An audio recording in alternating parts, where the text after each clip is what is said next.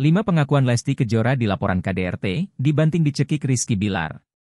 Biduk rumah tangga Lesti Kejora dan Rizky Bilar diguncang isu kekerasan dalam rumah tangga, KDRT.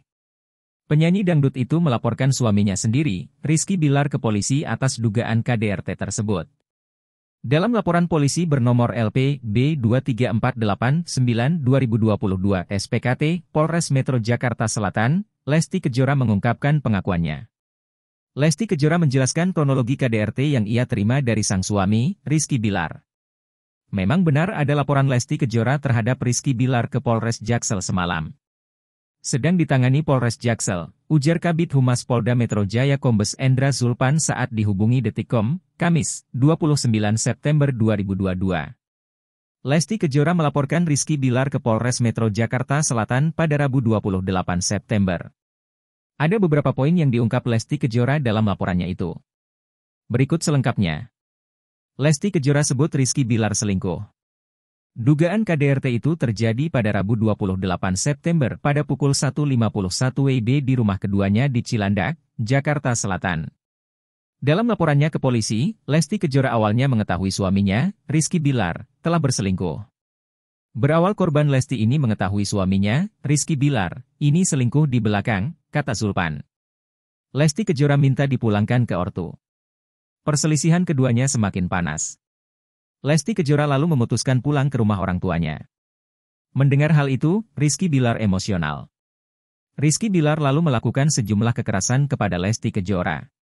Saat korban meminta dipulangkan ke rumah orang tuanya, terlapor emosi dan berusaha mendorong korban dan membanting korban ke kasur, jelas Zulpan. Detikcom telah mencoba menghubungi manajemen Rizky Bilar terkait laporan Lesti Kejora, tetapi hingga berita ini dimuat belum ada tanggapan. Lesti Kejora dicekik dan dibanting berulang-ulang. Lesti Kejora mengaku dirinya dicekik, dibanting, hingga terjatuh ke lantai. KDRT yang ia alami malam itu terjadi berulang-ulang.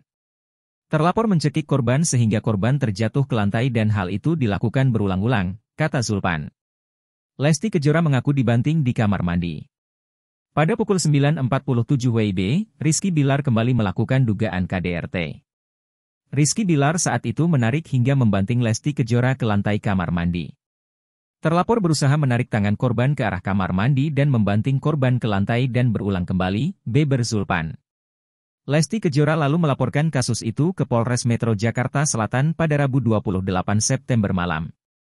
Rizky Bilar dilaporkan atas dugaan pelanggaran di pasal 44 URI nomor 23 tahun 2004 tentang KDRT. Polres Metro Jakarta Selatan tengah menyelidiki laporan artis Lesti Kejora terhadap suaminya, Rizky Bilar. Lesti Kejora melaporkan suaminya sendiri atas dugaan kekerasan dalam rumah tangga, KDRT. Kondisi Lesti Kejora usai alami KDRT. Atas dugaan KDRT tersebut, Lesti Kejora mengaku mengalami luka-luka. Lesti juga telah divisum. Tangan kanan dan kiri leher dan tubuhnya merasa sakit dan atas kejadian tersebut korban merasa sakit, kata Kabit Humas Polda Metro Jaya Kombes Endra Zulpan dalam keterangannya kepada Detikcom, Kamis, 29 September 2022. Bukti visum sudah di tangan polisi. Kasih Humas Polres Jaksel AKP Nurma mengatakan pihaknya telah menerima laporan dari Lesti Kejora pada Rabu, 28 September 2022, malam. Dia melaporkan suaminya karena dia di KDRT. Semalam dia melaporkan, kata Nurma saat dihubungi wartawan, Kamis 29 September. Dalam pelaporan tersebut, Lesti Kejora melampirkan bukti visum. Lesti Kejora juga telah diperiksa polisi tadi malam. Buktinya visum kan kita selalu visum kalau KDRT. Kemudian dia sudah diperiksa semalam, imbuhnya.